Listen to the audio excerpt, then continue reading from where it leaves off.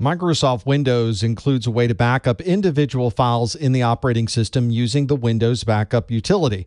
If you go into the Windows Backup, you'll see the option for creating backup copies of the files and folders. You don't have to create an entire image, you can simply choose the files and folders important to you.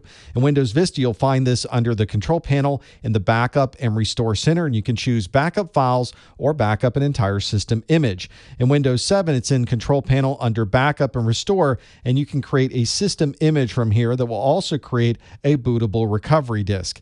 In Windows 8 Windows 8.1, the backup of individual files is now done in the cloud using Microsoft OneDrive to create an entire image of your drive that you can use to restore from. In Windows Vista and 7, you can do this under the control panel in the backup and restore center. In Windows 8 and 8.1, you go to the control panel under file history and choose the option for system image backup. As I mentioned earlier in Windows 8 and 8.1, there's less reliance on backing up individual files to a local backup device.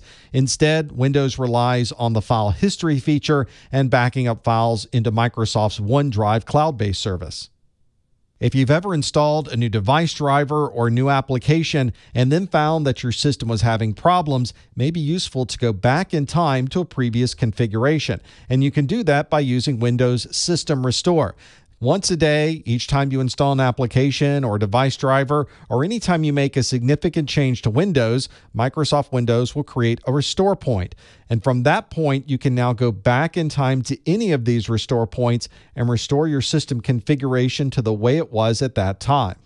To start System Restore, you can press F8 when your system is booting, go to the Advanced Boot options, and choose the Repair option to start System Restore. If you're in Windows Vista, Windows 7, Windows 8, or Windows 8.1, you'll find all of the System Restore options under Control Panel, System, Advanced System Settings, and the System Protection tab. Remember that the restore points don't necessarily mean that you can remove viruses and malware from your system.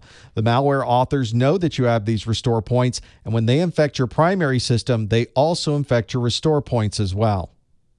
Windows also includes a lot of disk maintenance utilities that are built into the operating system. You'll find most of these in the Drive properties. You can choose the Tools tab, and you'll see the options are listed there. The first one is for error checking. It will perform a disk check of the local file system, and it will also check the disk itself for any physical errors. You can also run a defragmentation from here that will collect all the different pieces of your files and put them back together into contiguous sections. There's also in Windows Vista and Windows 7 the backup option. You obviously won't see this in Windows 8 or 8.1, but if you are running Vista and 7, you can perform all of your backup functions by running the backup utility from here as well.